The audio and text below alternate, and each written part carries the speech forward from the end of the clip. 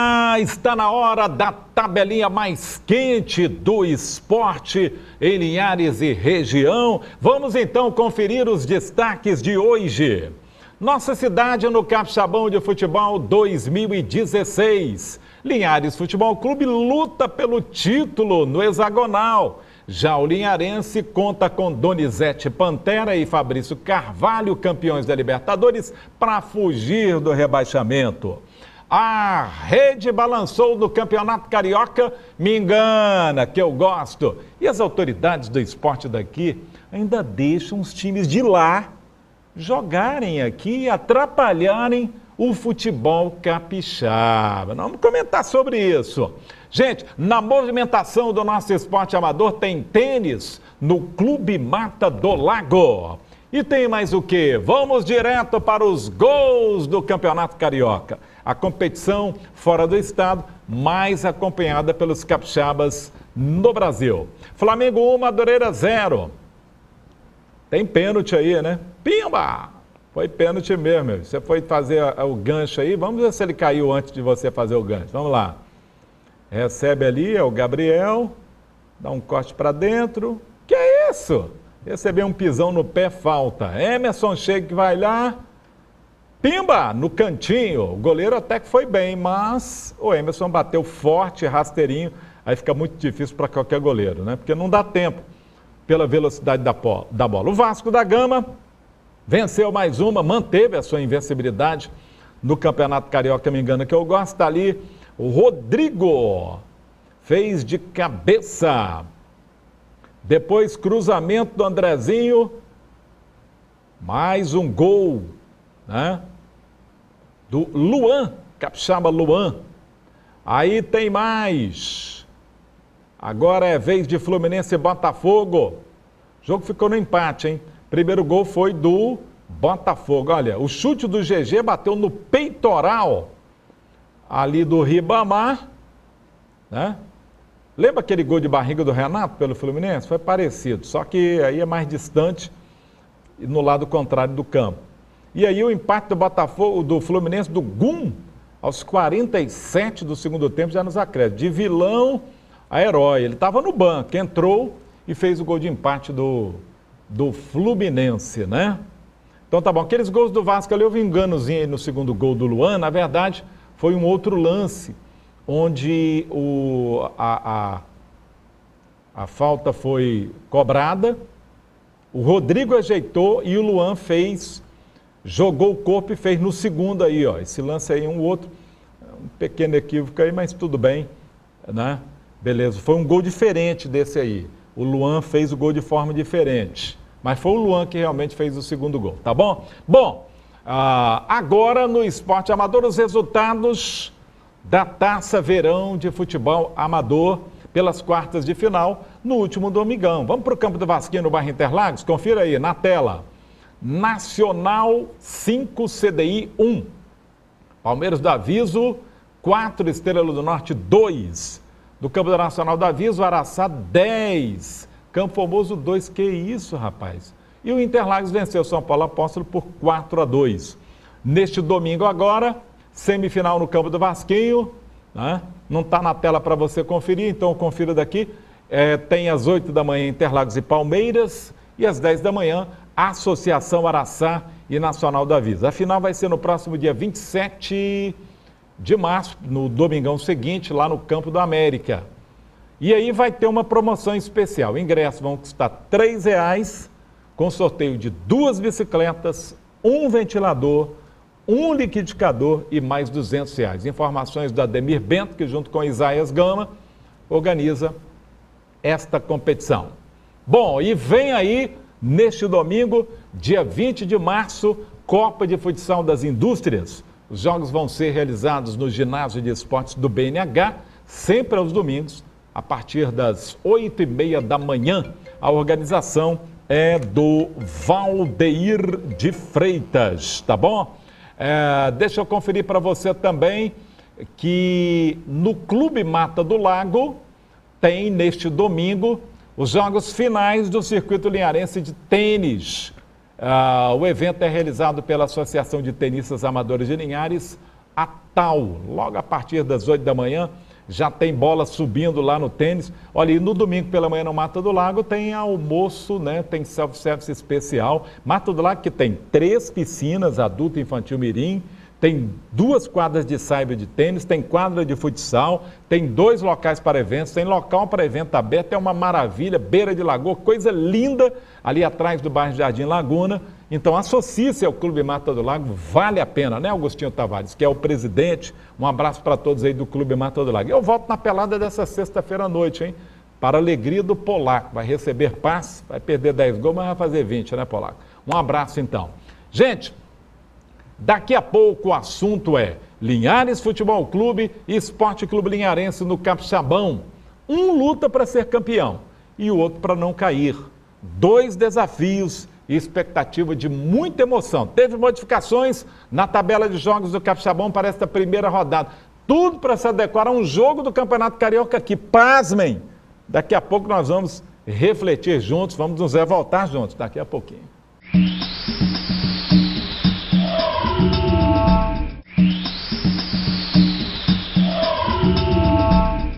Agora de óculos aqui, olha. Só para dar um recado especial aí para os nossos parceiros no esporte, também no rádio, em toda essa rede que é a maior de comunicação em todo o estado do Espírito Santo. Tem um pessoal lá do rádio também, e que está aqui na TV, HIA Esportes, né?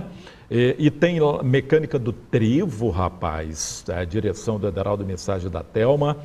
É, os nossos comentaristas lá no rádio têm apoio de Japão Lanches, do Quinho Variedades, da Galon Tintas, que está aqui, e Benel Centro, que é um antigo Benel Oficina, que agora fica na avenida principal, lá do bairro Chão. Um abraço para o Bené. Parabéns aí pela inauguração, agora com escapamentos, acessórios, lanternagem, pintura. Bené todo mundo conhece, né, Bené? Um abraço para você. Girassol Especialidades, é, que aluga e vende, né? É, é, cadeira de roda, né? cadeira para banho, material cirúrgico, ortopédico, uma coisa que facilita a sua vida quando você está no momento mais difícil, seja de acidente ou para idosos, ali próximo à prefeitura, no centro da cidade, né? E também o Linhares Esporte Clube. O Linhares Esporte Clube recadastramento obrigatório, só vou dar um detalhe aqui. Não se esqueça de entrar no Facebook do Linhares Esporte Clube. Nós vamos fazer a modificação depois para você conferir. Facebook do Linhares Esporte Clube. Você entra lá e tem todos os detalhes sobre recadastramento obrigatório, prazo final, dia 3 de junho. É aqui pertinho, atravessando o estúdio aqui no bairro Lagoa do Meio, na avenida, na avenida principal. Agora eu posso tirar o óculos, né?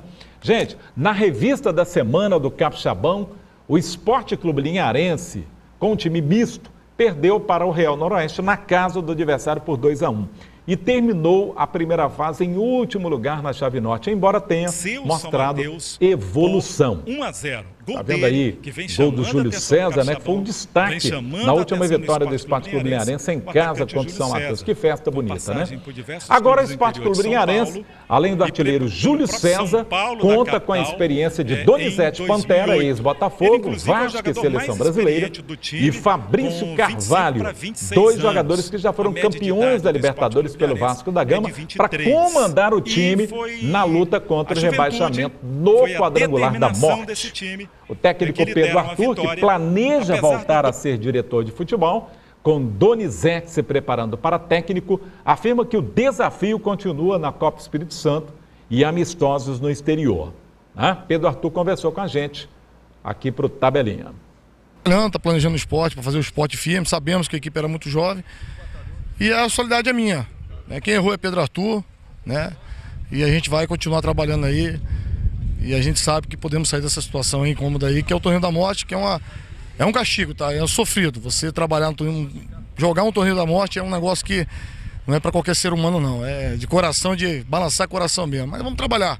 Vamos trabalhar, acho que não ficar se lamentando. Águas, águas passadas já não, não voltam mais, então a gente tem que trabalhar, botar a cabeça no lugar, amadurecer, alguns jogadores entender o que é um trabalho, uma sequência de trabalho e ter mais comprometimento. Mas a equipe está de parabéns, a gente teve uma perda do Júlio César, então até preocupado que ele está no hospital. E a gente vai dar sequência no trabalho aí para a gente dar uma, uma sequência aí na, nesse campeonato aí.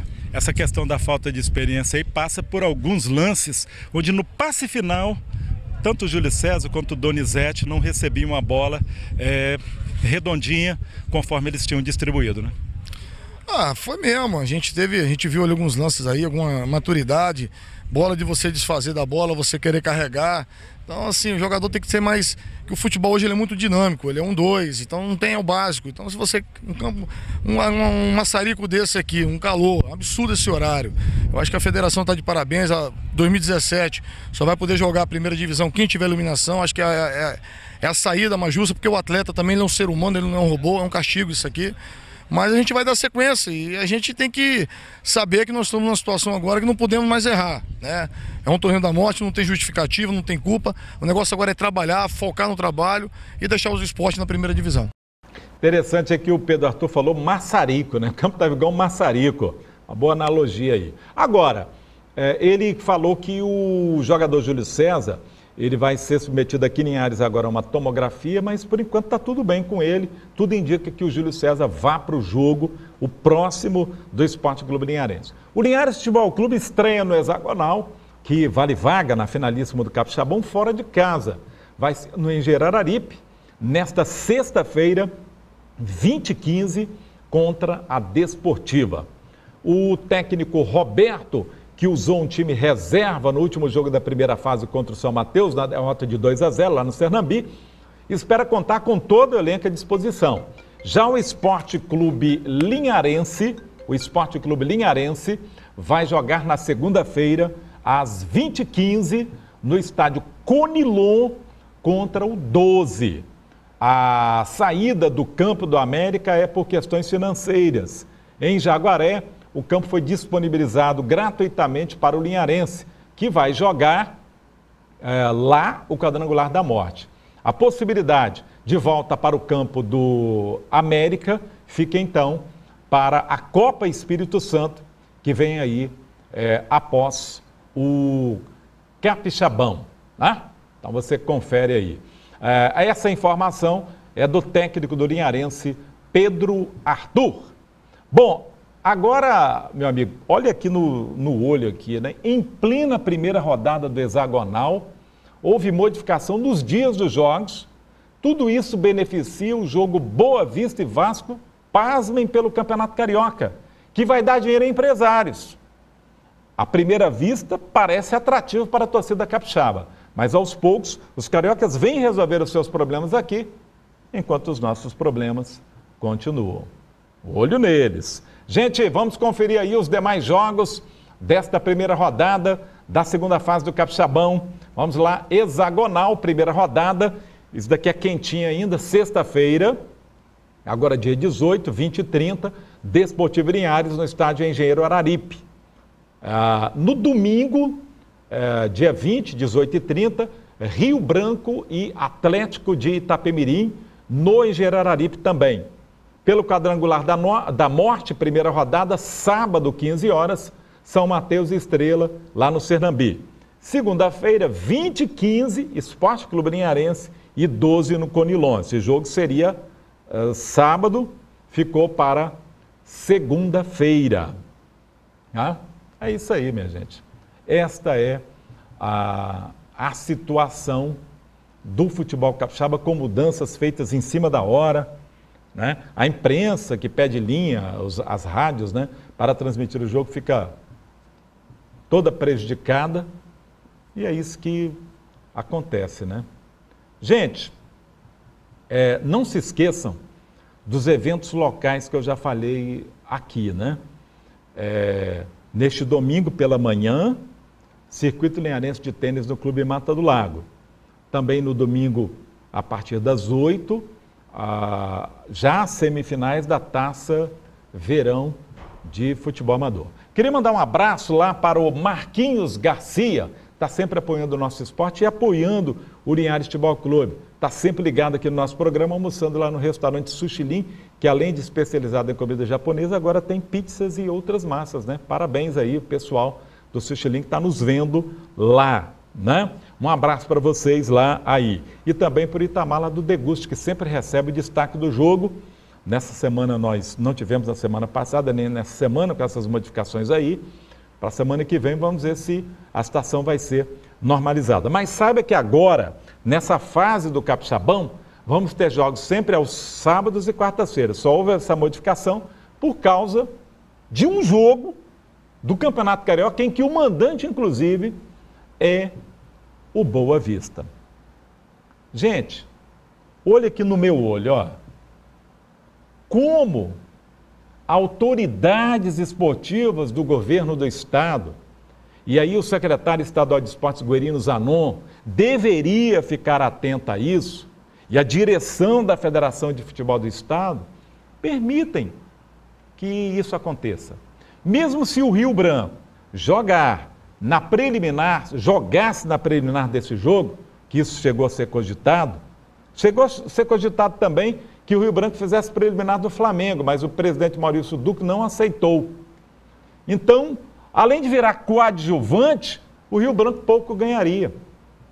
Porque o preço dos ingressos vai para as alturas e a própria torcida capixaba e do Brancão, poucos têm condições financeiras para isso. Sem falar nos altos preços, né? Os ingressos que vão de 50 ah, e subindo lá até 100 ou mais, 100 ou mais reais. Gente, o Kleber Andrade, que não pode ser usado nos jogos do Capixabão aqui, a não ser numa decisão, vira palco para o Campeonato Carioca. O Me Engana que eu gosto. Onde os grandes, que são Flamengo, Fluminense, Vasco e Botafogo, não conseguem público contra pequenos. E até nos clássicos lá não está dando grande público. Então, eles resolvem a vida deles aqui no futebol capixaba. Lá não tem público, né? Lá não tem público. Proporcionalmente, o Campeonato Capixaba, você vê aqui jogo de Linhares e Linharense com mais de mil pessoas, quando dá 8 mil no jogo do Flamengo contra pequeno, aqui está proporcionalmente até maior. Mas aí o nosso futebol está sendo prejudicado em detrimento do, do Os cariocas nunca ligaram para a gente. Já viraram mês aí, ó, e Desportivo, que tinha chance de continuar na primeira divisão do brasileiro, não continuou o Rio Branco, eles viraram mesa lá atrás. E o povo capixaba fica prejudicado também.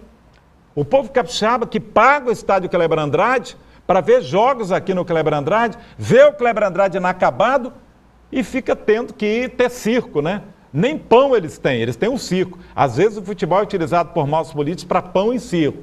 Eles ficam vendo o circo. O povo capixaba fica a ver navios. Ah, tá, nós temos uma vitrine, fazemos festa. Até ajudamos aí, né, Jardel, o futebol carioca. Mas, e o futebol capixaba? Como é que fica? Quando isso vai ser resolvido? Onde está a Federação de Futebol do Estado? Onde está a Secretaria Estadual de Esportes que deixem isso acontecer aí? Eu repito, empresários às vezes de fora vêm ganhar dinheiro no Kleber Andrade, que não fica à disposição do próprio futebol capixaba. E uma rodada do futebol capixaba é toda modificada para beneficiar um jogo de um pequeno quanto um grande do Rio de Janeiro. Gente, à primeira vista parece bom, mas aos poucos o futebol capixaba vai se esvaindo. Vai ser, ah, mas o futebol capixaba está uma M. E o futebol carioca, por acaso? Está grandes coisas lá, o campeonato estadual? Com aquela bagunça que está lá? Aí eles trazem a bagunça deles para cá, né? E nós vamos ficar batendo palmas para eles. Eu acho que nós devemos primeiro resolver os problemas da nossa casa. Valorizar o que é nosso. E não ficar sendo coadjuvante. É claro que temos torcida aqui de times de futebol carioca, fora do estado. Tudo bem, eles são centenários. Mas a gente tem que começar a crescer e valorizar o que é nosso, a partir de Linhares, a partir de Vitória, a partir de todo o estado do Espírito Santo. Nós não podemos ser extensão do futebol carioca. Agora, se vier aqui um campeonato capirioca, por exemplo, os capixabas aqui, as principais equipes, vamos para as quatro melhores, disputarem também o Campeonato Capixaba, aí nós vamos fazer jogos lá no Rio de Janeiro, eles vêm fazer jogo aqui, seria super interessante, porque é um vizinho do outro. Um ajuda o outro. Agora, só o futebol capixaba ficar sendo prejudicado em detrimento lá do futebol carioca, isso vai matar o nosso futebol aqui. Fiquem de olho. Não se iludam com esse pão e circo do momento. Enquanto isso, fazer o quê? Vamos valorizar o que é nosso, prestigiando o Linharense, segunda-feira, lá no estádio Conilões Jaguaré, e o Linhares Futebol Clube, nesta sexta-feira, lá no estádio Engenheiro Araripe. Eu faço a pergunta antes do tabelinha de hoje ficar por aqui. Até quando empresários vão continuar vindo aqui ganhar dinheiro, enquanto os dirigentes capixaba ficam de pires na mão, como agora o Esporte Clube Linharense e às vezes o próprio Linhares Futebol Clube. Com essa, o jeito é parar o tabelinho esportivo de hoje por aqui e ficar assim, ó, refletindo. Enquanto isso, o recado continua. Vamos valorizar o que é nosso. Orar a Deus e, acima de tudo, agir. Senão vão acabar com o nosso futebol. Tchau, tchau.